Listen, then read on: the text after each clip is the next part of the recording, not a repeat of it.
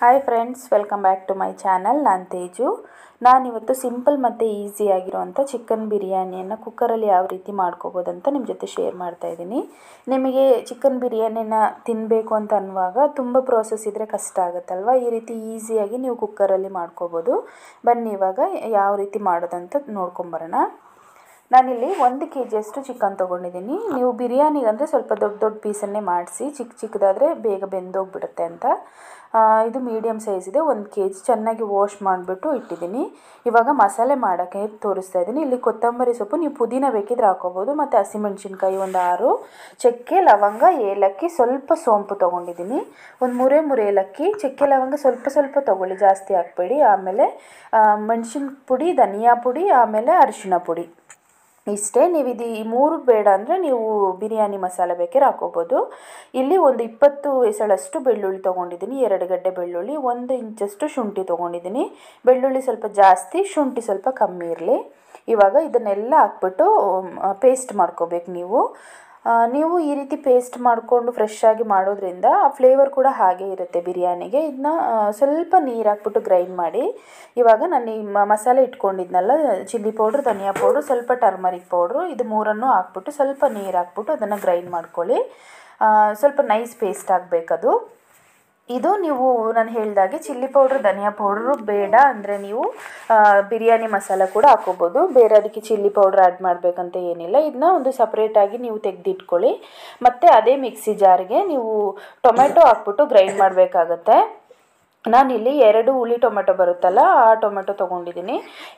ಯಾವ ಟೊಮೆಟೊ ಬೇಕಿದ್ರೆ ಹಾಕ್ ಟೊಮೆಟೊ ಬೇಕಿದ್ರೆ ನೀವು ಹಾಕ್ಬೋದು. ಹಾಕ್ಬಿಟ್ಟು ಇದನ್ನು ನೈಸ್ ಪೇಸ್ಟ್ ಮಾಡ್ಕೋಬೇಕು.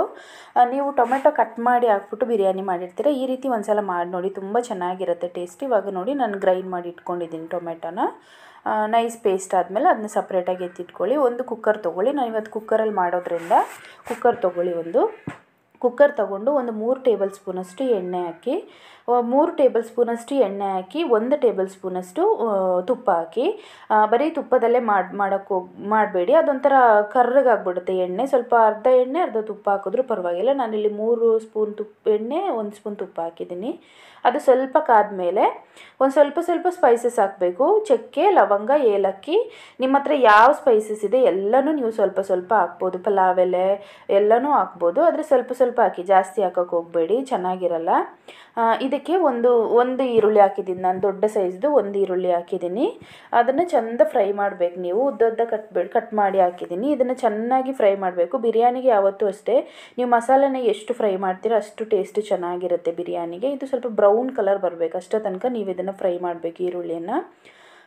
ಇವಾಗ ನೋಡಿ, ಇದು ಸ್ವಲ್ಪ ಕಲರ್ ಚೇಂಜ್ ಆಗ್ತಾ ಬಂದಿದೆ ಅಲ್ಲ?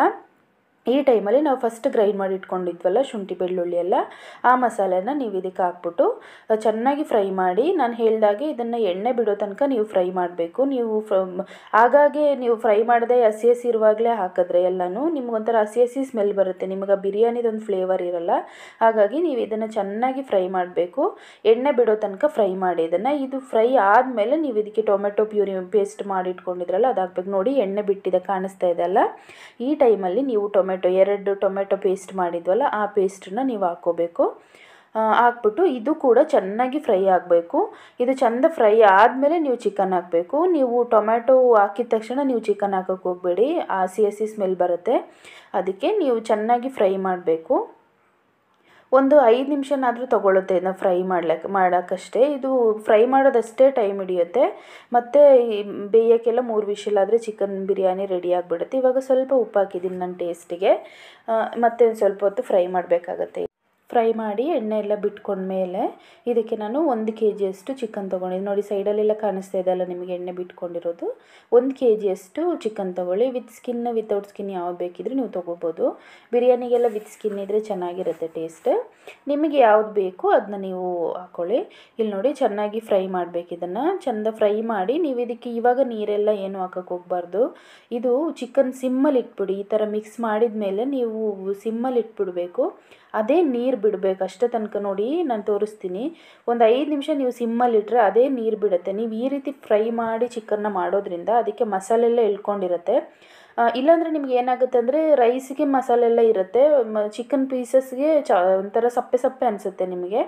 ಅದಕ್ಕೆ ನೀವು ಫಸ್ಟ್ ಈ ರೀತಿ ಬೇಯಿಸ್ಕೊಂಡ್ರೆ ನಿಮಗೆಲ್ಲ ಎಳ್ಕೊಂಡಿರುತ್ತೆ ಪೀಸಸ್ಗೆ ಈ ರೀತಿ ಮಾಡ್ಕೊಳ್ಳಿ ಫಸ್ಟ್ ಅದನ್ನ ಚೆನ್ನಾಗಿ ಫ್ರೈ ಮಾಡ್ಕೊಳ್ಳಿ ಚಿಕನ್ನ ಇವಾಗ ನೋಡಿ ಇಲ್ಲಿ ನಾನು ಇಲ್ಲಿ ಎರಡು ಗ್ಲಾಸಷ್ಟು ಅಕ್ಕಿ ತೊಗೊಂಡಿದ್ದೀನಿ.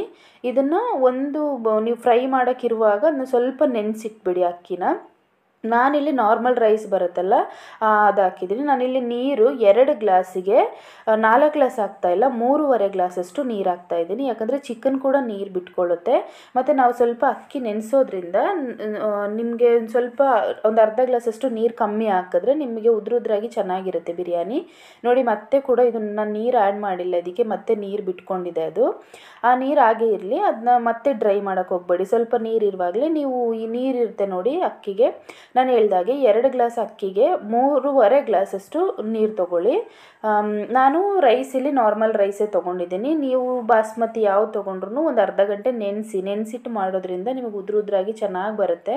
ಸಾಫ್ಟಾಗಿರುತ್ತೆ ಬಿರಿಯಾನಿ ರೈಸ್ ಇವಾಗ ಟೇಸ್ಟ್ ನೋಡ್ಕೊಳ್ಳಿ ನಿಮಗೇನಾದರೂ ಉಪ್ಪು ಏನಾದರೂ ಬೇಕಿದ್ರೆ ಈ ಟೈಮಲ್ಲಿ ನೀವು ಆ್ಯಡ್ ಮಾಡ್ಕೋಬೇಕು.